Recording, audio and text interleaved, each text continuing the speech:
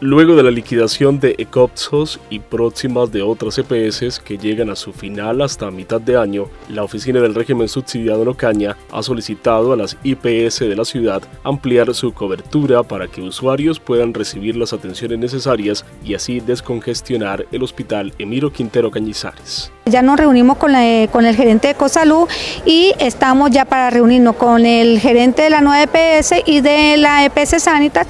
para sugerirles que nosotros sabemos que el 60% tienen que estar contratados con la República, que es, el, es el hospital,